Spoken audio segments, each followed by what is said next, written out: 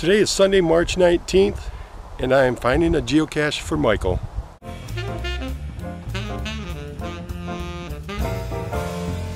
I'm Neil Moore, and this is Cache Tales. If you watch geocaching videos on YouTube, you've undoubtedly seen Joshua Johnson, the geocaching vlogger. Well, this week he got some sad news that a young geocaching friend of his, Michael Costello, had passed away. Joshua issued a challenge to the rest of us geocachers to find a geocache today on Michael's birthday.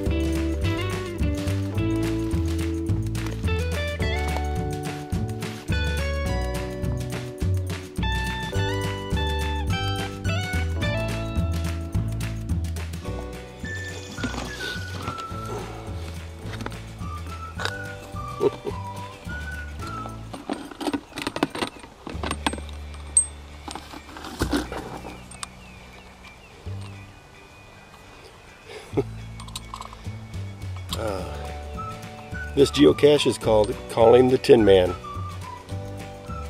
What better cache can you find for a person with such a big heart than one called Calling the Tin Man?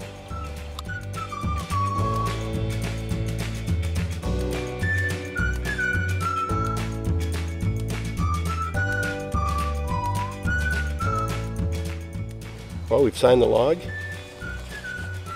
and I signed it in memory of Michael Costello. So as you're all out there finding geocaches today, I hope you can find one and do it in Michael's memory. Thank you for watching. We'll see you next time on Cache Tales.